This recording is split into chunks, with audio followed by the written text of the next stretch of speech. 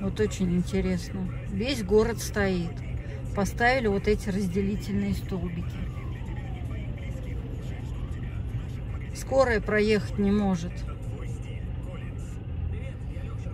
Может быть, действительно кому-то нужна помощь. А никто ни вправо, ни влево съехать не может. Вот такое у нас отношение к людям. И это долбанный переезд. Изо дня в день одно и то же, одно и то же.